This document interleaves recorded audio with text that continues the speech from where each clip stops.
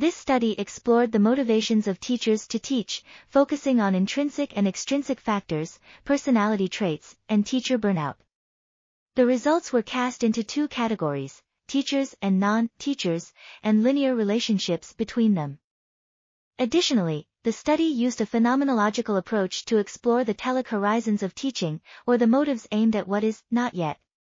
The findings revealed that teaching was seen as a dialogical process between a teacher and their students, involving tensions between self and other, activity and passivity, giving and receiving, instructing and learning, leading and following, and asserting and withdrawing. The study also found that teachers viewed teaching as a way to transform themselves and their students, while simultaneously creating a shared worldview.